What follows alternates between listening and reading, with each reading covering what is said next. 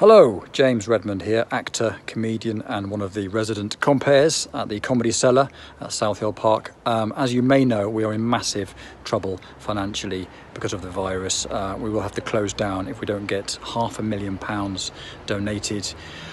it's a terrible shame, isn't it? Um, if you come to the uh, Comedy Cellar, you will know it's a fantastic comedy club, uh, one of the most popular on the entire UK circuit.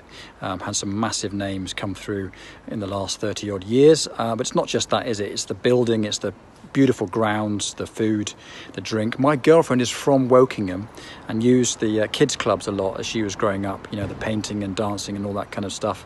I've written some more things down uh, that you can do at the Arts Centre um, from the website. Ready?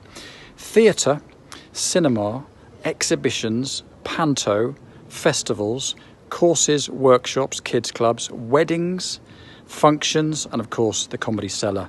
Um, so, yeah, please dig deep and donate. The website is southhillpark.org.uk forward slash donate. Thanks.